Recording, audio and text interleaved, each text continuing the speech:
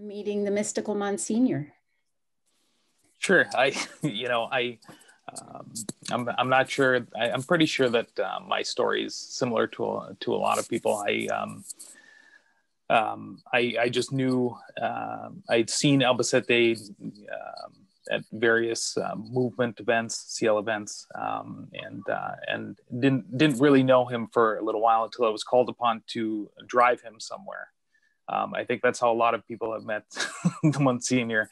And the thing that was uh, that was, I mean, I was fascinated by um, his his talks, but what was really amazing to me was um, when in the car with him, uh, he was so fascinated and and and um, I, I, guess um, intrigued by what um, about my life, about me, about what I thought about things. Even though he's a rocket scientist and he's on TV shows and things, I I, I was um, immediately blown away by. He he asked me shortly after we got in the car about my opinion about the theology of the body. For example, I'm just a, a you know a, college kid. The thing was 2002, and uh, we had a we had a discussion about about it, which I knew very little about. Um, and and we uh, dropped him off, and that was that was the beginning of the relationship. And then I, after uh, after that, you know, I when I was at, at events, you know, he would he would seek me out uh,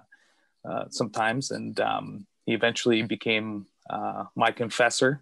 Um, he's an interesting interesting priest to uh, get confession from. Um, and I, I, think that might also be another very common anecdote uh, here. But uh, uh, I just wanted to to mention, uh, I mean, a few things. He had he invited us uh, to me and and my friend Rich over to his house uh, several times for for tech issues like fixing the Wi-Fi or there's something broken on his you know his email or he lost access to it.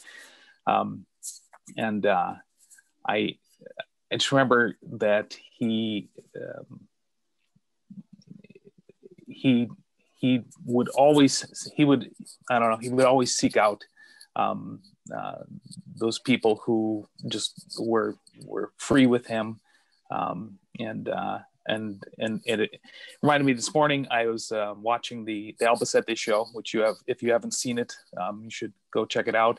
But uh, at the near the beginning Greg Wolf quotes uh, quotes um, Whitman, and I, I literally on uh, this last Wednesday um, was uh, watching a film with a quote from Whitman, not the same quote, but uh, it, it made me think of my experience of meeting Albacete, um, which is from Leaves of Grass. Um, it says, it goes, and henceforth I will go and celebrate anything I see or am, and sing and laugh and deny nothing. And it, I immediately uh, thought of Albacete um, because that is the way that's the way he lived. There was nothing there was nothing that scandalized Albacete.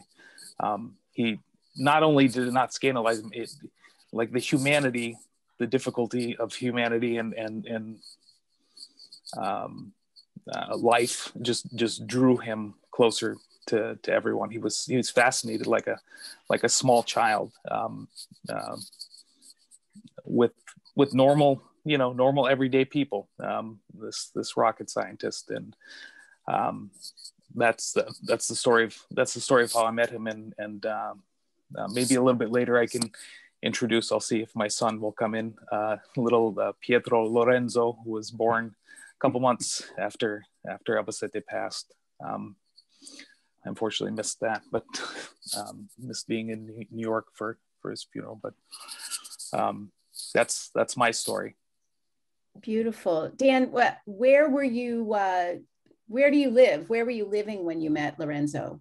Oh in new york city. I, I think it was in 2002 yep yep yep. I was going to college at fordham university at the time. Um, right now i'm joining you from st cloud minnesota where i where i live now. Oh my goodness. Okay. Yep. mm-hmm. All right. Beautiful. All right. Well thank you.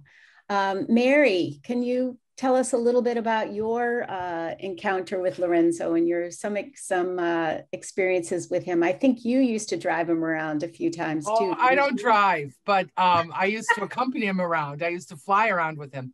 Uh, my name is Mary Szymkowiak.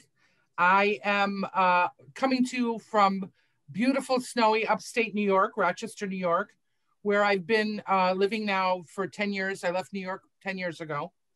Um, and I uh, was one of, if not the first, I think there was maybe someone before me, but it was an official position.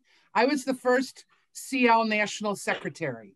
I worked for the movement from uh, 1999, 1998 to 2004, when it was a one one woman job. And then somewhere along the line, Ruro Maniscalco joined me. We had a little cubbyhole office that Albacete hated because it was beneath us. And then we moved, uh, much to his delight, to um, the first office that we had in Manhattan, uh, a big office. Uh, we had it was down on uh, 21st Street, but it was a tiny little cubbyhole. And I don't think Lorenzo ever came there, but um, it was. Uh, and I don't remember the first time I met Lorenzo. To be honest with you, I don't. But I know that 98, 99, it's when all this stuff was happening, and we were we were making this big move uh, in New York with Giorgio Vittadini's help and the help of all the people around the world in the movement to actually set up shop in New York officially. Prior to that, we had had a kind of airsats little office down in um, uh, Bay, in Bensonhurst, Brooklyn, but um, this was a first official move, and um, we moved. So we moved from 21st Street, much to uh, Lorenzo's delight, I do recall, to Lexington Avenue, and you know we were in the Graybar building, and Albacete loved to talk about how every once in a while and I, me too, but Lorenzo loved that he would run into Henry Kissinger in the elevator because Kissinger was up on one of the higher floors and we were on the 27th floor. And the Graybar building, if you don't know New York City, is attached attached to uh, Grand Central Station. And so, and it's a lovely old building. And Grand Central at that time was being redone. So it was just a lovely place. And Lorenzo loved coming to that office. He would spread out all his stuff in the middle of the office and and pens and whatever and then and then tell me things that i needed to do you know um, i still recall many many times um, uh, somebody mentioned it in the video or somewhere his obsession with uh, the weather and um, i just he would say call remember that was the old days when you couldn't uh, it, cnn was on all the time but we didn't have a tv in the office or whatever so he would like say, call the call LaGuardia. You know, there was like a weather number. Remember that when they used to have weather numbers? I want to know what the temperature is at LaGuardia Airport, which I loved. I was one of his particular things that I thought was very cute about him. Um, I had a great, I mean, I, have been thinking about him a lot this year. Uh, with the COVID, with the whole political situation, I can't tell you how many times in a panic over the last year I've thought to myself, and talked to him and said, Oh my God, Lorenzo, please send us some guidance, send some justice our way, send some uh, calmness for me because I really need to hear somebody with a voice of reason. And um, I was lucky because at that time we were introducing all the books of Father Giussani. Religious Sense was introduced at the at the UN, and then uh, we did the origin of the Christian claim. And I don't know if I remember this all correctly or not, but we did a big three day uh, extravaganza at Georgetown University where we introduced and and there was a, a cardinals and and people and and one of the people who was there was Cardinal Ratzinger, okay, who eventually became Benedict the 16th. And I love telling this story because it's classic Albacete and me too. Um, there was like a cocktail hour or something before the first, um, uh, like a little get together before the whole thing began. And there are all these serious scholars who are going to talk about the origin of the Christian claim. And um, Albacete and I were, were in a group of people with, um, uh, I think Cardinal O'Malley was there, but I don't recall. But I do remember it was the uh, cardinal before the current cardinal of New York. Um, and I can't think of his name right now. It's escaping me. But a big old Irish guy, just like the current one. Egan. Yeah. Oh, Egan. There you go and Cardinal Egan was telling some jokes, and and there was the the older cardinal who passed away, the who was never uh, a cardinal of an actual city, uh, but he was a, a, scholar, older, very old man, uh, Dulles, Dulles, uh, Avery uh, Avery Dulles, I think. Okay, and oh, and they were telling store Irish jokes about New York City or whatever, and we were guffawing, and, and Albacete was adding his two cents, and Cardinal Ratzinger was talking to somebody else behind us one day to be Benedict the 16th, and he turned around and he shushed me and Lorenzo, okay, and Lorenzo looked at me and said, and I swear to God, he said to me, Count yourself lucky, Mary. You've just been shushed by a future pope. that was Lorenzo. And I, so I always care when people ask me about what I did in my previous lives when I'm here in Rochester, and sometimes we get into stories about Catholicism or whatever, I often share the fact that I was shushed by Benedict XVI. Um, but Lorenzo was involved. He was actually, it was his fault. Okay. And I did also, um, in, I just wanted to say two things about the, the video. I, I loved it. It brought me to tears when, um, first of all, for its playfulness, which was very Lorenzo, but two things really, really struck me was one was when, uh, when Olivetta was talking about when she went with Lorenzo to see Father Giussani and Father Giussani said to her, Dobbiamo far questo per tutto, dobbiamo far tutto per quest'uomo. We have to do everything for this man. That's what Don Giussani said to Olivetta. And so I remember Ben, I, I, I, I was a, accompanied him on many flights. We used to have a lot of fun uh, buying junk pens and trashy novels in every airport store, uh, in every place. We used to travel all over the country. Um, he but i would i got to travel with him and i and sometimes i remember being like wow this guy is so not put together you know the crumbs on the thing the cigarette ashes the this the that you never knew where anything was and yet when you agreed to to fare tutto for that man to do everything for that man whether olivetta asked me to do something or somebody else asked me to do something for him uh, you were in for an adventure and he looked at you he had a humility and a heart. You could be standing next to Benedict the 16th, the future Benedict the 16th, and Lorenzo was interested in what you were saying, as interested as he was in what Ratzinger was saying. And so um, that really struck me. And the other thing was the, I often, I, Lorenzo was not my confessor. Uh, I do recall going to confession once or twice to him, and um, it was a hoot. I will tell you that.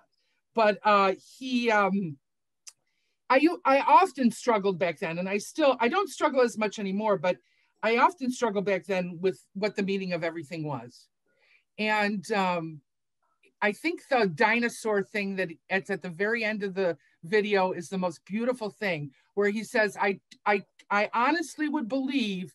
If I was told that dinosaurs were created because this little boy Noah likes dinosaurs, and that's to me is Albacete. And uh, I miss him. I would love to be able to call him on the phone right now and ask him a million questions about what he thinks about what's happening in our world. And I know he's watching over us, and I and I hope he's watching over me because I definitely need him. Beautiful, beautiful, beautiful. Thank you so much, Mary. That's great. Um, okay. Uh, I, my uh, the final person I want to call on is uh, John Capobianco, um, who is actually a good friend of mine. Um, and the way that I met Lorenzo uh, was uh, through John. Um, my husband and I are in the same parish uh, in Silver Spring, Maryland, as uh, as John and his wife Maria are dear friends and their family. Uh, and when I, uh, John's daughter and my daughter were in our parish school together um, uh, in the same class. So um, we met in a very American Catholic way um, through through the parish, the parish school. Uh, and when I met John, we were both doing communications work in different fields. Um, but the more I got to know him, I um, was struck that he had been formed in a totally different way than I had been formed. And um, uh, and uh, my question uh, uh, ultimately, what you know, was the the question that uh, you hear so often um, within the movement: Where did you get this? You know, who gave this to you? And um, and the answer uh, was um, come and come and meet Lorenzo. And so um, so John and I have been working together ever since and uh, that's um, that's the way I uh, met um, met Albacete. So, John, take it away. Thank you, Mary Beth, and hello, everyone. Um, the video that John put together was really quite beautiful and exceptional. And to see everything that he put together um, really corresponded to everything that I know about Lorenzo. So it was something that you can trust and um, really rely on to get to know this unique and, and beautiful priest, um, which is how I met him in the mid 70s. Uh, he was assigned to our parish, as Mary Beth had uh, described, and uh, he was assigned there by Cardinal Baum uh, in residence. And um, I was very active in my parish uh, in college as a retreat leader, and I was at the rectory a lot. And um, my occasion to meet Lorenzo was very dramatic. He challenged me initially, uh, asked me what I was doing as a retreat leader working with high school students, and then declared that I was a complete phony. And so I was, you know, rather intrigued by his approach um, and challenged and said, no, no, this was not the case. I assured him that I was authentic and um, we would meet a few other times in the in the rectory, and he continued to pursue and to challenge me to, um, you know, how serious I was about my Catholic faith, and he, with a, a great sense of humor. And then at one point, he became very specific, and he said, "No, no, I'm serious." and I will challenge. Let's the next time I see you at mass, I will I will challenge you and I will ask you a question. And if you don't answer the question correctly, you will have decided that you're not worthy to receive communion, and therefore uh, I will not give you communion. And so I said, okay, you're on. Let's let's do this. And and it took about three weeks later for me to be uh, kneeling at the communion rail. At the time, we were kneeling, and he was coming around, and he asked me, uh, he stops and he asks me, and as he's about to give communion, and he puts Jesus back in the ciborium, he says, Ah, your hour has now come. And I thought, oh my God, what am I getting into here? How is it possible that we are at this point? And so he um, he asked me, um, okay, so what was the council that declared the infallibility of the Pope? And of course, after 12 years of Catholic education and into college, I, I didn't even know what a council was. I, I couldn't even make up the answer. So I looked at him as sheepishly and I said, I, I, I really don't know. I'm, I'm sorry. And he looks at me and he says, Well, then you can't get communion. And so he moves down to the next person at the communion rail, and I'm sitting there kneeling. And uh, he goes down, and I'm waiting, wondering, okay, how am I going to handle this? And uh, some other parishioner comes behind me and says, "It's it's the Council of Trent," and whispers in my ear. And I said, "All right, I got him. I got him now. Here we go." And so uh, he comes back, and he's he looks as he stops in front of me again, and he says, "Ah, so." here you are and your hour has come. So now, did you figure out the answer? And I look at him and I say, it's the Council of Trent. And he looks at me and he says, no, that's wrong. and he moves on to the next person. And I'm by this point all alone at the communion rail, and everyone has left. And so I notice on the other side, we have a kind of a circular communion rail. And I notice that he has uh, there's one spot left. So I went to go receive communion to another uh, priest on the other side of the communion rail. Uh, and, and so I went back and I noticed that everyone on the side of the, the church where I was walking, they were all tisk tisking and, and wondering, oh my God, how horrible that I was treated. And they were talking to me, at, at, we gathered after Mass, and I said, no, no, this, this is not the case. Um, so I went back to visit Lorenzo in the, in the sacristy afterwards. And he's, he drops, he was still vested, and he drops immediately to his knees in front of me. And he says, I'm so sorry I've taken this too far. I've given scandal and, and I, I, I'm so sorry I treated you this way. And I'm trying to lift him up. And I said, no, no, no, Lorenzo, you, you are absolutely right. And um, you have nothing to be afraid of. You, um, from now on, you are the teacher and I am the student.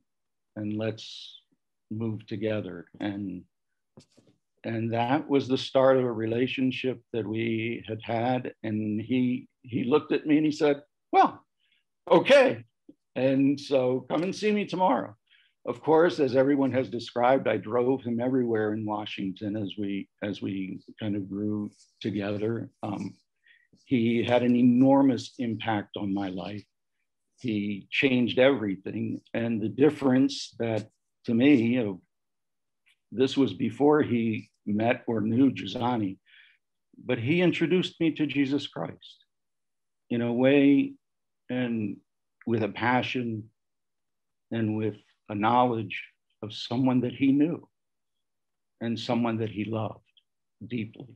And so it was one of the greatest gifts I ever received in my life uh, from this man who changed everything for me. So as a as a parish priest, we hear so much about parish priests these days.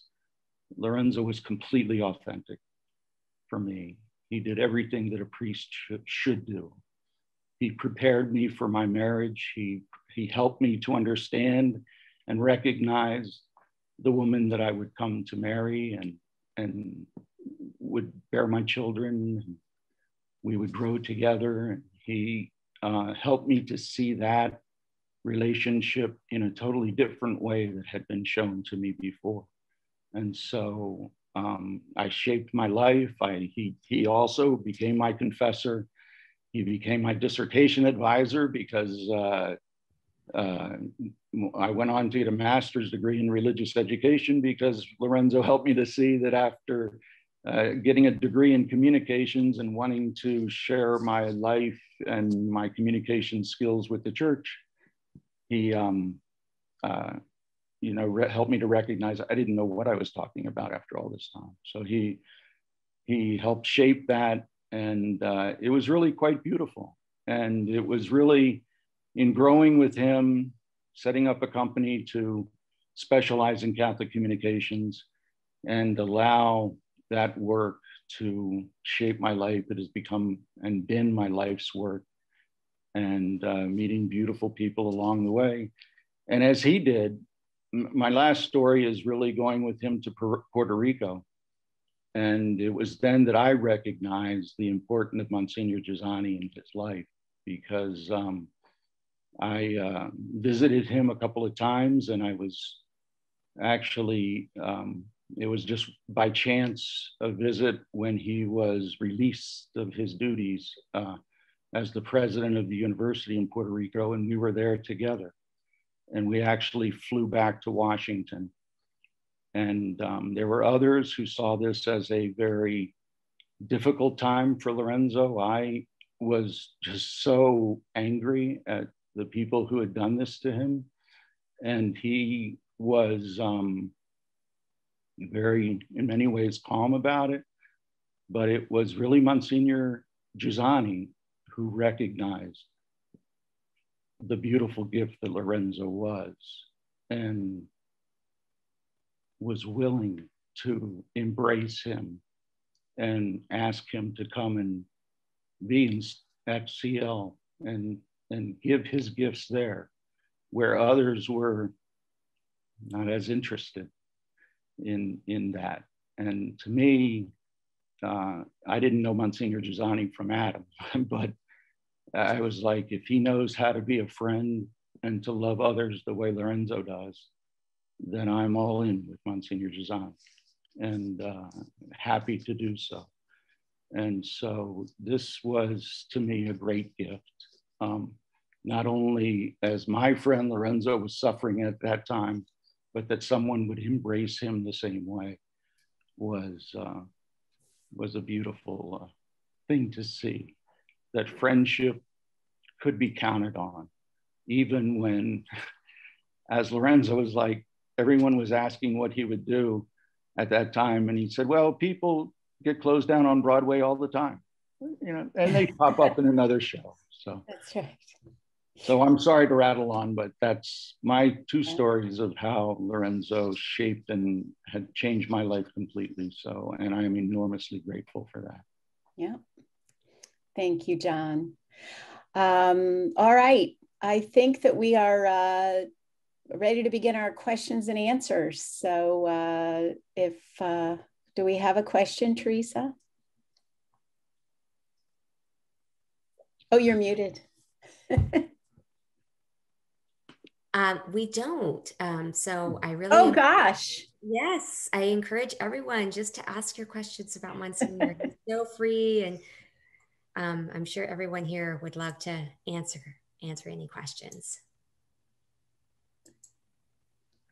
All right. Well, uh, in the meantime, uh, Mary, can you tell us what what was your favorite part of the uh, the Albacete show? Uh, the the I mean, it was all great because yeah, it really. I mean, like I said, Tui I see over there. So uh, this is. I was going to say, I think we have John is, Tui with us. So huzzah, John Tui. So this is me stroking your ego, Tui, which you know. Um, but it was fantastic. And like I said, the Monty Python esque scene changes and it was yes. just fantastic.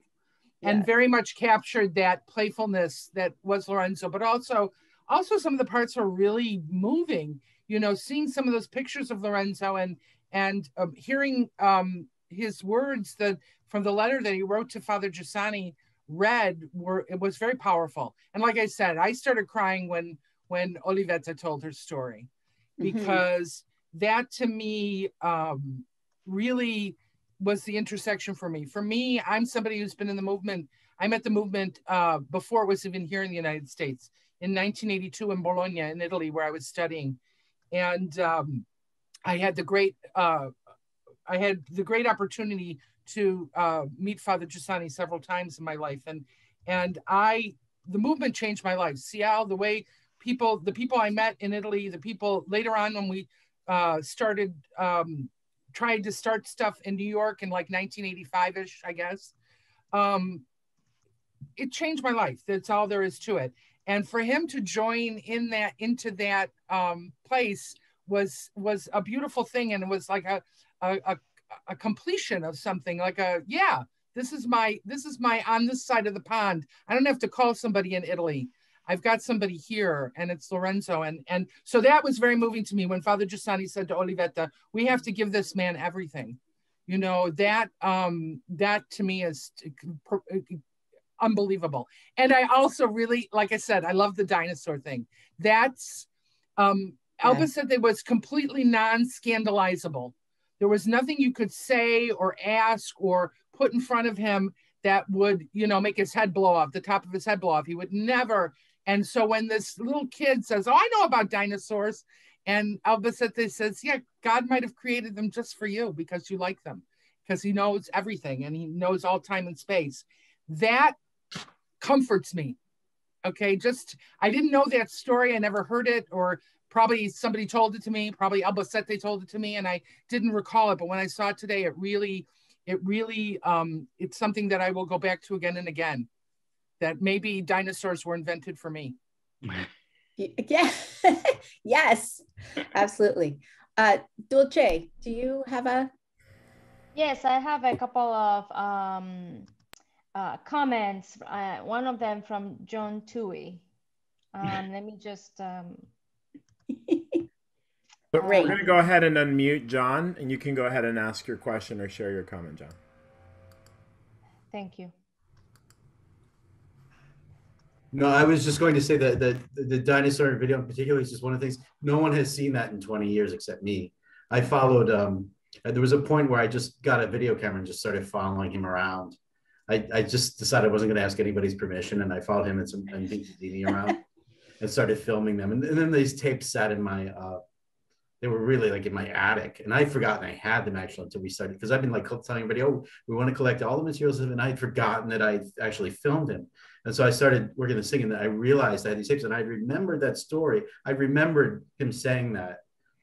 Uh, that was something I like I remember for 20 years. And I was like, I've got to find that. I wonder if it matched my memory. And I put the tape in. I was like, oh my God, it's exactly like I remembered. And this is really powerful. I have to share this with people. So that's why, you know, I really wanted to end the the Albacete show with that because I thought it was just so unique, so expressive of him. And then um, the other thing I say is like most of the things in there are either things that were very rare that would be very hard to find on YouTube, or things that no one like the the question he had that um, that uh, that they asked about, and the, then I cut all the COVID the scenes of the past year in, uh, mm-hmm. you know, about um, you know, it, was it easier for, it must have been easier 2000 years ago to know Jesus than today was something yeah. that someone had sent the forum of recording of him. And again, I, so I wanted to really share all these, uh, just a little bit of the treasures that we're gathering right now to, to let people know. So that, that's why that's in there. So yeah, that's why that's in there. And uh, I thank John for participating and Dan Bushman had a special guest appearance in the video. So I just want to say, make. I'm glad everybody liked it. Thanks. So it looks like we have Fred. Um, you want to say something? Fred Kaffenberger? Sure. sure. Hi. Uh, yeah, so um, I met, uh, I heard uh, uh Lorenzo Albacete in 2002 when he came to Benedictine College uh, to speak on the religious sense. So that was, um, you know, uh, so I'm thinking when, um, when I went, I didn't know anything about him, but I had known Schindler before that, David Schindler of the John Paul II Institute. Before that, and I had subscribed to Communio for a couple years. So I said, "Oh," I said to my wife, "I said, okay, this guy looks interesting. He's been in Communio," and she, my my wife, having looked at Communio, rolled her eyes at me and said, "Oh dear God." And so I went by myself, and I went to Benedictine, and uh, I heard him. I don't remember a thing he said. But I just came home and I said, okay, uh, this is it. This is what we've been looking for. Let's go. Uh, he's going to be speaking again tomorrow night, and you're going to come with me. And she said, okay. she said, I, am not, I'm in protest, but I'm going to go. And, and she was nursing uh, our daughter at the time. So uh, here she is, dragging along the baby, and, and we're, we're there. And so, and she says, wow, you were right. And then um, the other thing that had happened was uh, that uh, um, I was at the talk in Missouri where uh, Monsignor Albacete spoke to uh, spoke at William Jewell College. And so I couldn't tell you a thing he said there either, except for one thing that I remembered because of the Albacete show. And that is, uh, and I just saw him, he, you know, people are asking him questions about the Catholic Church he's giving all these crazy answers. And I'm like, oh my gosh, I have no idea. You know, he, he was just doing this kind of stuff. And then at a certain point, um, he says, you know what really interests me? And then he starts talking about some animal he saw on the Discovery Show. I said, oh my gosh. Oh my gosh. So that was, uh, those were the, the stories that I wanted to share. That's wonderful. Thank you, Fred. Um, other questions? No? Okay. I'm not seeing any other runs right now, but we. That's fine. I'm going to take the time then to ask a question if there aren't yeah. other questions. Please do it. John, I was incredibly moved by what you um, what you shared about that, that kind of initial encounter because uh, in, a, in a very similar way, right? Uh, being called out as a fraud was the way that uh, I became Lorenzo's friend too.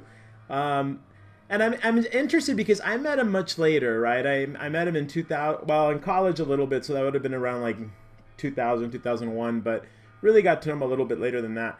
Um, but my experience with him was all, all after the movement. So I met a guy who had met Giussani, and I'm just curious. You've know you knew him throughout, right? You knew him from uh, maybe not as far back as Puerto Rico when he was a kid, but certainly as a young uh, a young priest, uh, all the way through his involvement in the movement. I'm just curious, from your perspective, how that uh, encounter with Giussani uh, took shape for him. How how did he share that with you? Sure no, to me, Giussani confirmed everything for Lorenzo that he was always pursuing, but it never really crystallized the same way um, in terms of the the way to live it, the kind of the method. He was always kind of searching for that. He was always very, um, you know, authentic in his approach with Cardinal Baum. You know, this was all before he was meeting John Paul II and they were doing things together. And, you know, he was aware, it seemed to me, of Monsignor Giussani, but it wasn't quite like he wasn't really, you know, um, studying or pursuing exactly what he what he was doing. But I think it was really meeting him, meeting him through, you know, um, uh, the movement and and kind of uh, the introduction through Cardinal Scola and and and that kind of personal confirmation that this totally corresponds to the gospel. It totally corresponds to his understanding of who Jesus Christ is and how he loves others and it, it was to me that relationship that confirmation that this friendship is something that you can really trust and you can build your life upon.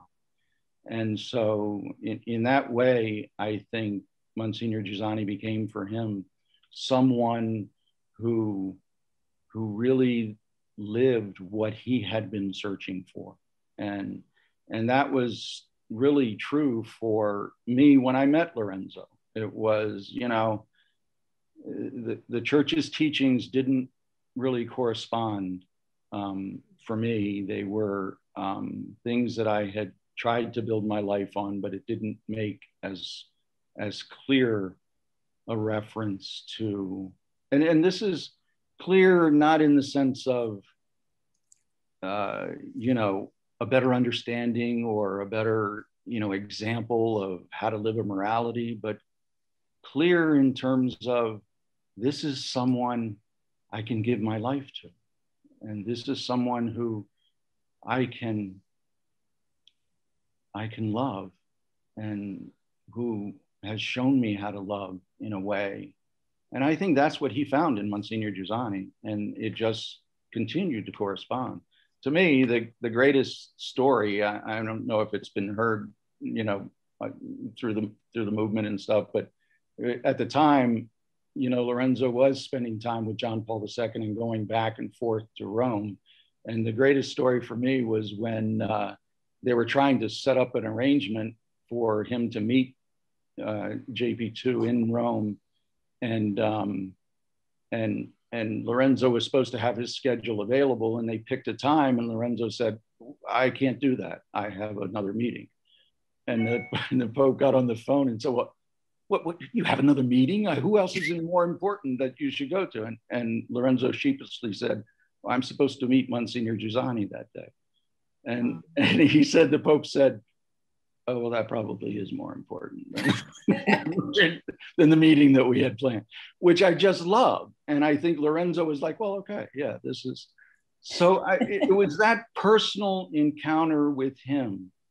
And, and you know the words the unpacking of the books and the things i mean it's uh, all important but it, to me it was this was a man who lived what the gospel proposes. Live someone beautifully in love with Jesus Christ.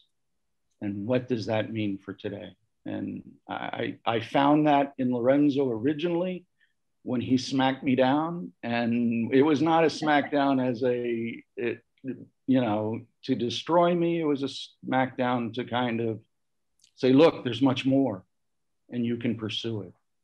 And let's pursue it together. And that was his offer. And I um, am so grateful that even as a college student, I was aware to say, okay, let's, I, I'm in, let's do this. So thanks for the question. I, I think it's really important.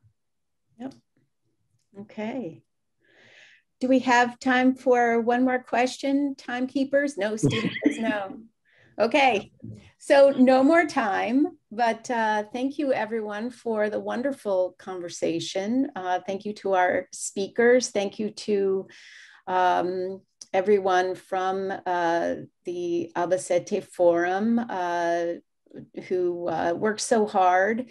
I know that through the, um, the creation of the wonderful Albacete show that John put together that um, he was able to have some wonderful, amazing conversations with many friends of Lorenzo. So stay tuned because um, we have a lot of uh, wonderful things now in the archives, which uh, hopefully we will continue to, to work on and uh, be able to bring, bring to you. Um, so, okay, I have my closing script now that I, I have to read like a, like a good um, a good forum member. Um, we want to thank everybody for your participation.